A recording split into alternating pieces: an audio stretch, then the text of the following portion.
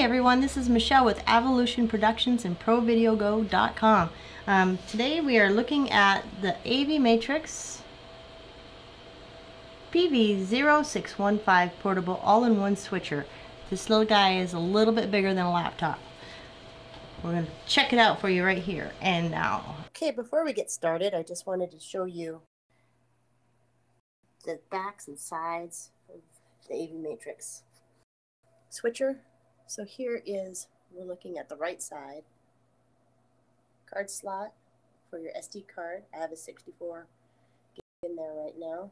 Uh, the landline is for pretty much software updates and setting your time clock at this point. Then you have a headphone out jack.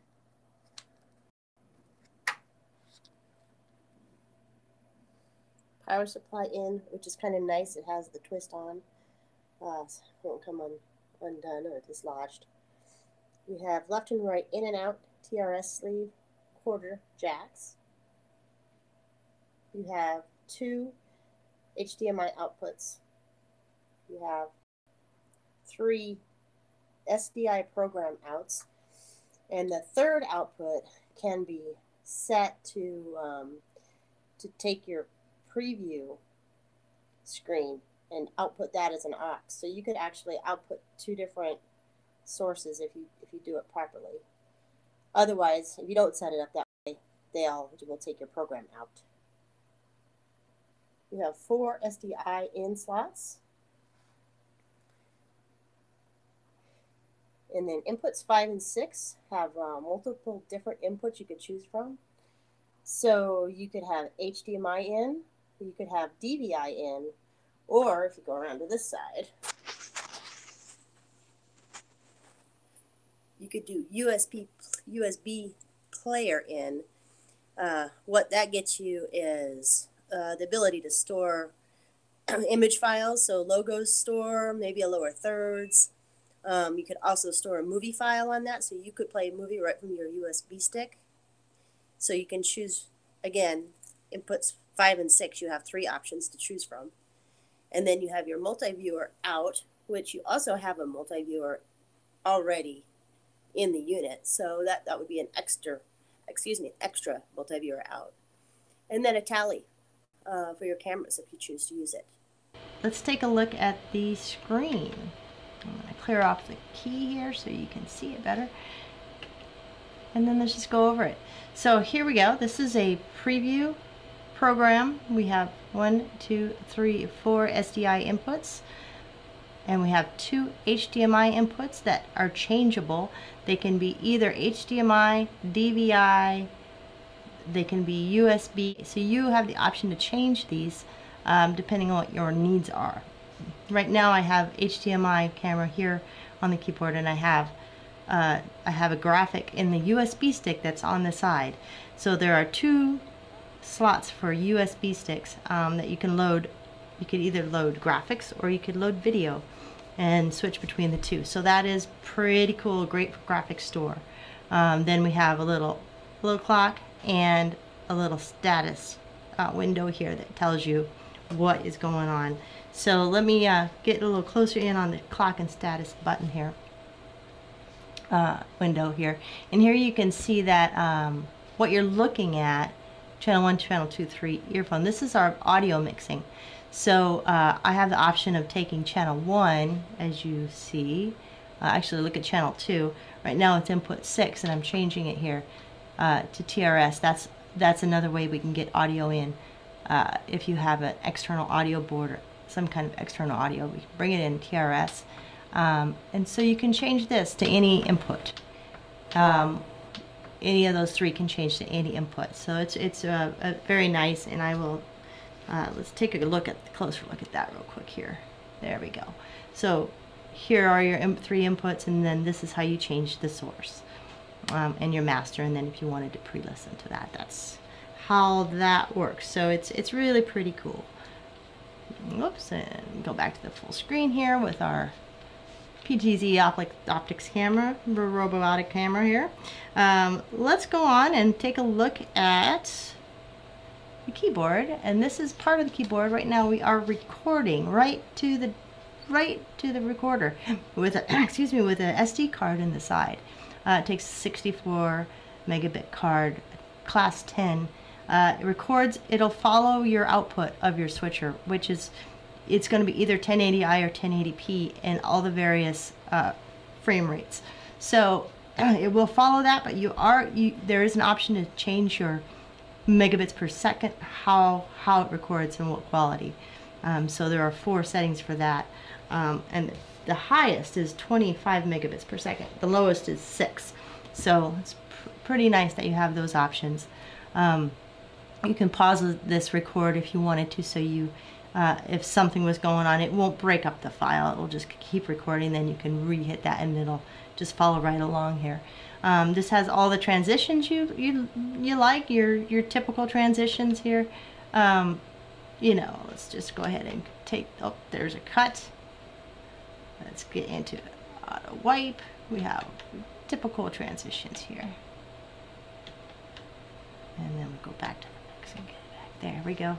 Um, yeah, very very simple. That I mean, it's very easy to use. These are um, you, these two little buttons here. This is how you pick your input for those two five and six uh, inputs that I was talking about. Uh, so let's let's take a look at this a little bit better, like this. Okay, now you can see five and six. So right now six. Um, I can change this input.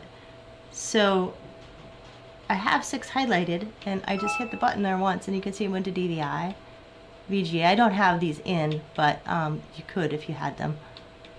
Uh, you couldn't use them all at once, of course. And then back to the USB, um, and then, then you can change that image. And I, I think I have four of them stored here. Uh, really good for logo store. Yep, there we go. And then you can also change it to video. So I'm going to take take it here and bring up the video I have saved and let me just bring it uh, there there it is.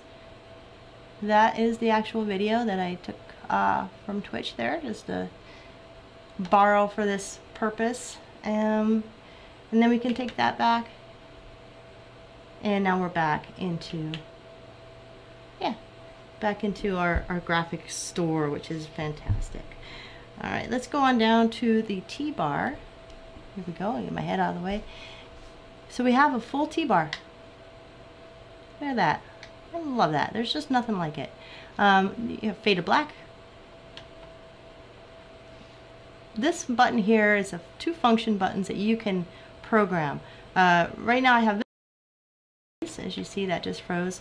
Uh, F2 I, I don't have set up yet. Uh, so those are two programmable buttons. Uh, we have picture in picture option here. We have picture outside a picture option, which is really nice for those, let's say you have a, a presenter and they have a PowerPoint. There you go. You got them both right at the, right at the same time. It's fantastic. Uh, we have Luma key, which, there we go, and uh, Chroma key, which isn't set up. yes. Uh, so we got those. We got those. Um, let's go back to the main screen. Okay. And actually, let's look at all the keys here at once so you can kind of see them. Get my head out of the way. Uh, this also has all this uh, written up here so people, uh, if they don't know what they're doing, it's kind of got instructions just kind of written right into it here. So um, what you're looking at here is, is the menu, status menu, and this is what it will show um, in normal operation mode. Uh, we already went through the audio channels and how that works. Um, I'd like to show you, I'm going to do a little side-by-side -side action here. So you can see, here's the button that I'm pushing to get to this menu. So right now, if that's the way it sets, right, since I hit the POP button, this new menu came up. So let's just run through that real quick. Um, here's the window that you're working on, window 1 or window 2. So we get that uh, we can go down to the position, click once, and move window 2. You can see it's moving there. So it can go side by side. Uh, I'm sorry, move sideways. It can move up and down. Uh, border enable on, or you could turn it off. border width goes from 2 to 7. There's 7. There's 2. Different color borders, white, red, blue, green, and back to white. And then if you were to do the same, whoops, that one's just gotta go this way. Number one, it'd be the same. You can change all the positioning on that one as well. So now we're gonna clear, I'm gonna clear that, and we're gonna go into the PIP menu and bring that in. And so this is all the same. You can uh, change the position of it, right? I guess we'll move it out of the way vertically. So you can see what you're doing here. It's a little twisty of a knob to move it. Um, there's three different sizes here. So there's the small, there's the medium, and there's the large size.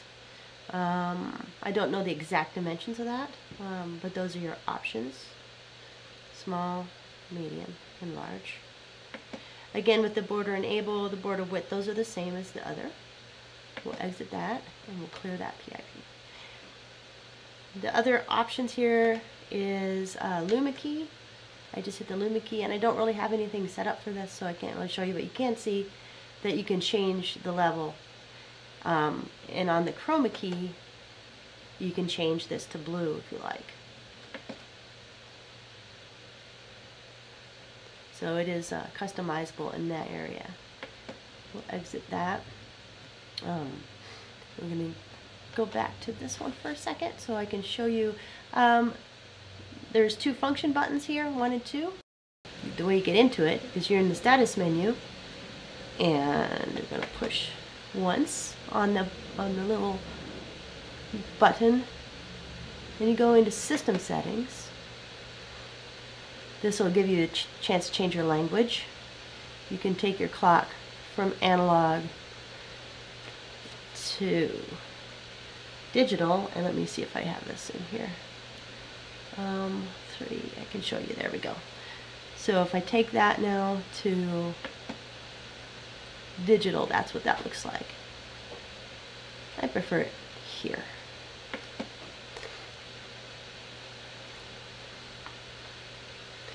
And go back. Okay, so uh, the two function buttons that I was showing you have options you can choose. So let's look at this. I have it on freeze, um, which will freeze program and audio. So when you push that, if you have something going on, you need to change something, you don't want anything to change on screen, you can you can hold it with the freeze. Um, that's on the program, not on the preview. So if you turn it off, that's what that happens. You can turn it to have that button act as a PIP or act as a POP, Luma, or Chroma. Uh, to me, that doesn't make a lot of sense because those buttons are already there. So I think they have more things coming in a future upgrade. Um, same thing with F2. Audio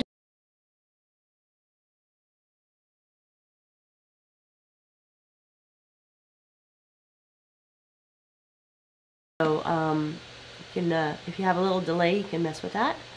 And if you want your date on or off on the on the menu, you can just turn that off. That'd be on the clock menu. Um, and that is that. Return there. Now we'll go to network settings. You can set this for uh, dynamic or you can put in your own IP address, however you like to do that. Record settings. There is four different settings here, so we can go, oops, let's go here. The low setting is 6 megabits per second. Medium is 12 megabits per second.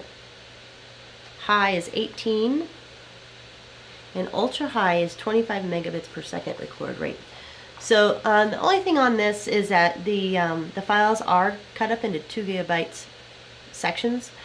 So the higher you record quality, the more often it's going to splice those files up, um, which will just make it a little harder in the post to put them back together again.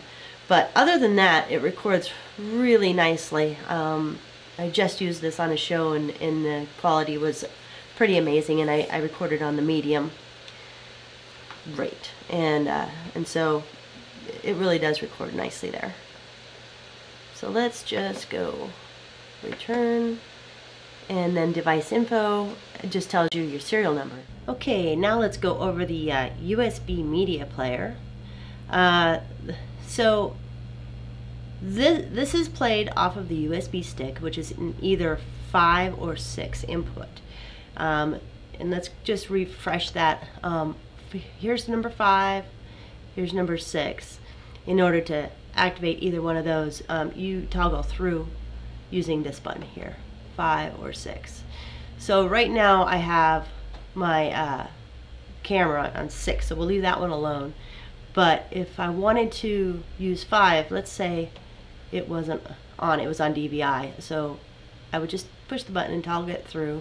VGA if you have an adapter. Um, HDMI, no, USB, that's what we want. Okay, so that's the first image on my USB stick. So in order to now utilize this, I have to make sure and, and enable it first. So it's in USB 5, so I have to enable that. And when I push that button, now it activates this player and all these buttons here. So that's activated. Let's go back. I'm going to go to the next image by pushing this button and the next and the next and then and that's it and then it'll go back to the beginning this also goes backwards so if I wanted to though, that's, that's how you access your pictures. Now if I wanted to access the video, I have one video on here as well. I have to make sure that this is enabled, which it is. And then I hit the video button. And it brings up the video. And it automatically starts playing. So if I want if I want to I can I can pause it.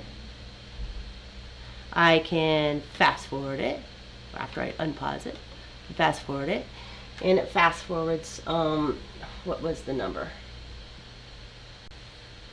32 times. Uh, if you wanted to fast forward 32 times the speed you could do that. Um, you could go backwards. You could go to the end.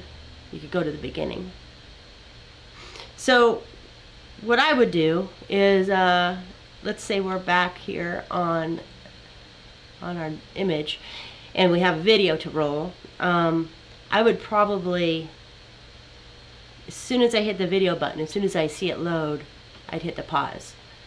And then you could take it to program when you're ready um, and not have to worry about it loading. Okay, I do want to show you real quick. Let's go back to the um, images. I'm going to fast forward to this one, which will um, there you go. This will tell you what formatting is supported. So um, I've only tried MP4 for movies.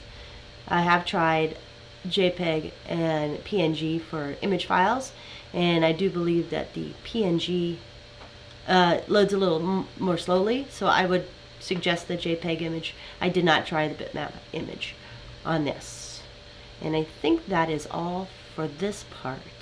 I mean, we really, really like this little device. Um, we're digging it and we happen to have it available on our website at provideogo.com. Uh, this retails for $26.99. Uh, our plan is to use it with one of our hardware encoders so we can stream to the web without a use of a PC or a Mac and we can just stream it right out there. Just this machine, you show up, doesn't matter what they throw at you. Anyway, uh, we really like this and thanks for checking it out with us. Uh, let me know if you have any questions below and uh, we'll answer them for you. Hey, I forgot to mention that if you order from us, you also get this handy carrying case from AV Matrix. And check this out. It's got the uh, laser cut foam. It's a really nice case. Not too heavy, but durable and will protect. And also comes with a tally connector. All right. Cheers. Bye bye.